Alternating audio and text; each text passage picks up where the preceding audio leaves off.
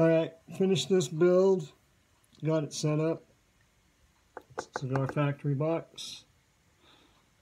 It's got a rod piezo under the bridge. Goes to a preamp. Goes to an output. Then it's got a John Nickel single coil bass mag that runs to its own output. This little headstock. Really like that spalted maple on this neck. Turned out really nice. But do a little sound check on this. I got the bass mag run to a little acoustic amp and I got the piezo run to a little benchtop passport mini. If you can run the bass mag through a little cheap octave pedal, it really makes it. That's mm-hmm. the bass mag by itself.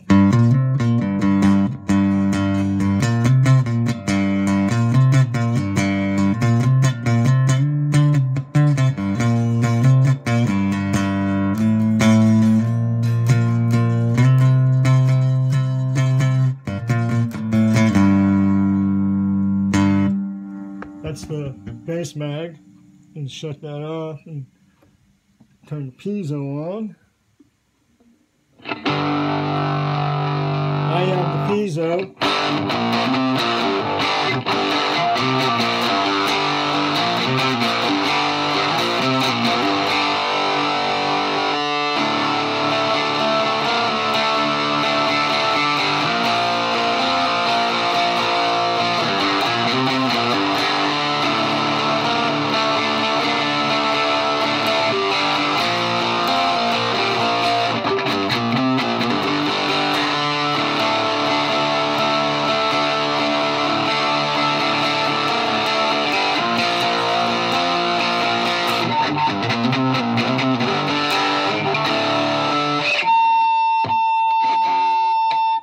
And that's the piezo, which I got set right next to the amp almost.